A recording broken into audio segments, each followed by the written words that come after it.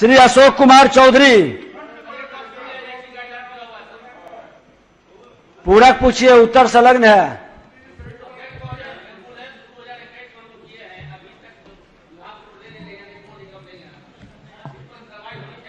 आप लिख के मंत्री जी कहे कि लिख के दे दीजिए।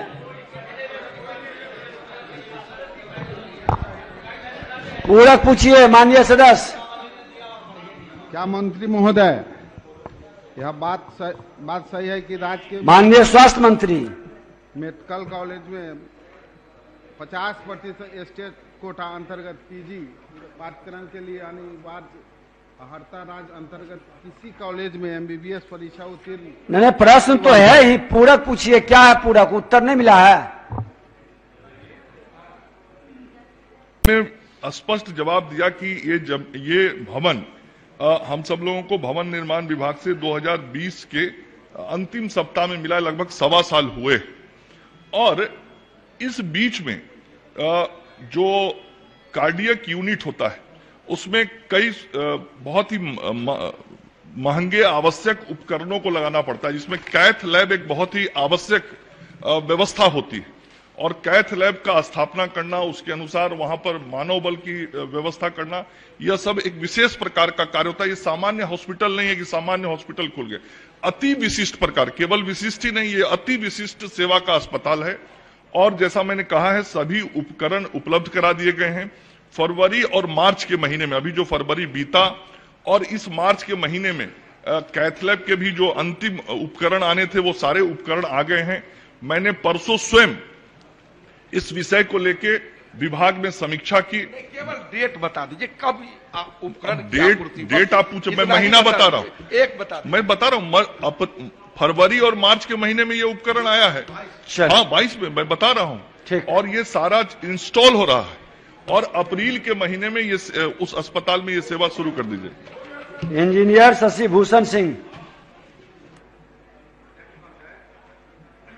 उत्तर मुद्रित है।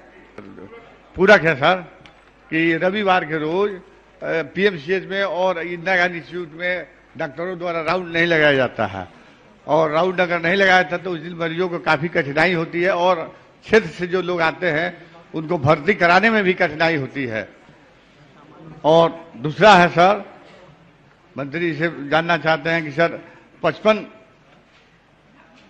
पचपन मरीज़ हैं, सर बर्न वार्ड में और एक देशर है। एक देशर पचपन मरीज़ को कैसे संभाल सकता है कृपया बताने माननीय मंत्री जी। स्वास्थ्य विभाग। महोदय मैंने जवाब में लिखा है कि 55 मरीज़ पर एक ड्रेसर की पद सृजित है स्वीकारात्मक है इसको मैंने माना है। लेकिन यह जो परिधापक है परिधापक संवर्ग नियमावली 2022 संशोधन की प्रक्रिया में है। और जब भी कोई नियमित सेवा सरकार के द्वारा दी जानी होती है या विज्ञापित करना होता है तो सेवा नियमावली बहुत ज़रूरी होती है।